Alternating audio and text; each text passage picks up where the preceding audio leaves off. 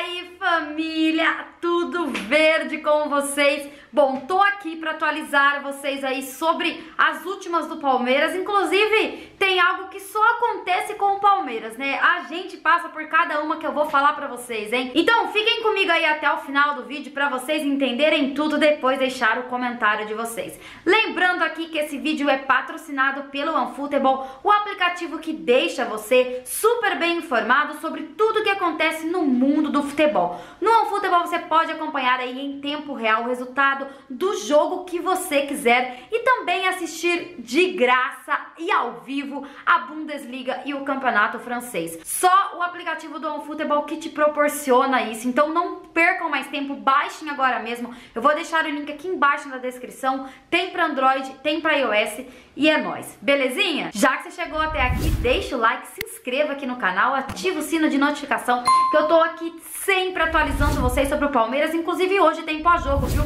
sai meia-noite, uma hora da manhã, mas sai o pós-jogo. E você que fica me perguntando, Cássia, como eu faço para ajudar o canal? Seja membro do canal aqui embaixo, só clicar e ver todas as vantagens aí de ser membro aqui do canal.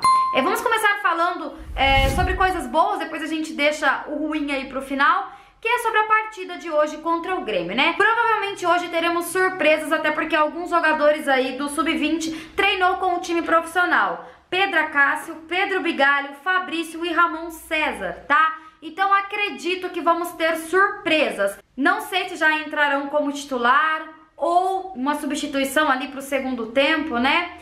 É, até acho que ele pode usar aquele mesmo time que ele usou contra o esporte, né? Eu acredito que sim. Ah, também tem a volta do Mike, então pode ser que teremos o Mike ali na lateral direita e não o Gabriel Menino, né? Aí dá pro Gabriel Menino ir pro meio, vamos ver. Ah, não, acredito que o Gabriel Menino não jogue.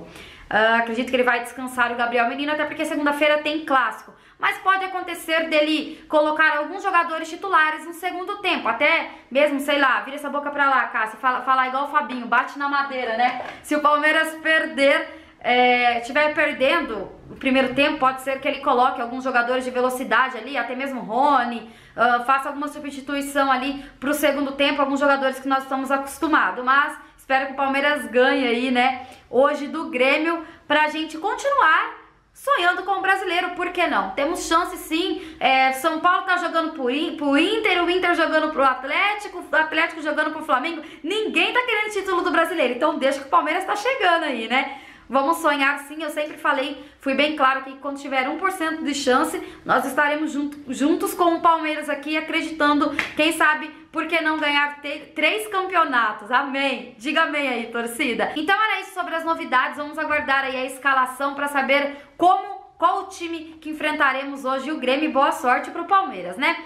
Como tudo acontece com o Palmeiras, é por quê? Porque, gente, o Abel pode não estar presente na final da Copa do Brasil, né? Inacreditável as coisas que acontecem, porque lembra que lá nas quartas de final é, o Abel teve um, uma treta aí com o árbitro, né? O árbitro expulsou ele, falou que ele xingou, mandou tomar naquele lugar. Ele colocou na súmula que ele foi ofendido pelo Abel. E até então o Abel não foi julgado. Se passaram a semifinal e o Abel não foi julgado, eles deixaram para julgar agora e o Abel pode tomar a suspensão. Não sei o que o Palmeiras pode fazer para que isso não ocorra, se tem algum efeito suspensivo, sei lá, para valer, uh, não sei, não sei se o Palmeiras paga alguma multa, eu não sei como funciona. Espero que, que possa, né, o Palmeiras possa recorrer e alguma coisa ser feita, porque não é justo algo que aconteceu lá nas quartas serem julga ser julgado agora que estamos perto aí, né, da final da Copa do Brasil, estamos perto de buscar é, esse título, mais um título sonhado aí pela torcida do Palmeiras. Como eu falo que tudo acontece com a torcida, com, o Palmeiras, né? Porque eu duvido que se fosse outro clube, se já não tinham julgado é, para deixar aí fora, possivelmente na semifinal, para uma final é, estar tudo ok. Gente, pelo amor de Deus, olha o tanto de coisa que tá acontecendo no futebol, né? Eles sempre querem dar um jeitinho de estragar aí, ferrar com a vida do Palmeiras. Então, nesse momento, a torcida tem que estar mais e mais ainda é, focado e junto com o Palmeiras. Inclusive, no vídeo de ontem, eu vou até deixar aqui no card, em algum lugar aqui para vocês assistirem, eu comentei um pouquinho sobre medo, né? E até queria reforçar sobre isso. É, quando eu falei que tava com medo, não quer dizer que eu não vou apoiar o time do Palmeiras, não quer dizer que eu não estou confiante. Eu senti medo contra o River. Mesmo o Palmeiras tendo ganho lá, de 3 a 0, eu tava com medo aqui. Tava com aquele frio na barriga. É normal a gente sentir medo do adversário, sentir medo do jogo, porque vai ser um jogo de final, jogo de Libertadores. Eu tô confiante, acho que o Palmeiras tem totais condições de ganhar do Santos, assim como sempre falei que o Palmeiras tinha condição de jogar por igual com o River. E a gente sim pode buscar com certeza iremos buscar essa, essa Libertadores. Eu tô muito confiante, mas o medo é normal ter. Vocês levam muito ao pé da letra, muita gente me xingando. Ah, você não confia no time do Palmeiras? Eu falei isso no vídeo. Pô, a gente tem que confiar nos nossos jogadores. Se a gente não confiar, a imprensa não vai confiar. Todo mundo com medo. Ah, Marcos Rocha que vai ter que mar marcar Soteudo. É o que a gente tem. São jogadores que nós temos. Se a gente for campeão da Libertadores, seremos com esses jogadores. Então a gente tem que apoiar, tem que estar junto com o time nesse momento, gente. Então, assim, não entendam tudo ao pé, da, ao pé da letra. Ter medo é normal, ter aquele frio na barriga, aquele aperto no coração, é uma final de Libertadores, gente. Eu estou presenciando isso pela segunda vez. A primeira eu tinha seis anos, eu me lembro muito pouco, me lembro da comemoração, não me lembro da caminhada do Palmeiras nos jogos, mas eu me lembro do último jogo, lembro das comemorações, já expliquei pra vocês aqui tudo, até porque me marcou muito. É, assim, eu entendo, eu acompanhei a trajetória do Palmeiras, eu tô com meu filho aqui, que meu filho tá com 10 anos também, e também entende, também quer ver o Palmeiras sendo campeão da Libertadores, então assim, é diferente o momento. E é normal sentir medo, né? E não quer dizer que eu não estou do lado do Palmeiras e que eu não vou apanhar, a, apanhar, e que eu não vou apoiar. Apoiarei o Palmeiras incondicionalmente e vamos ser campeões lá no Maracanã, bater o Santos. Amém, torcida? De novo? Amém.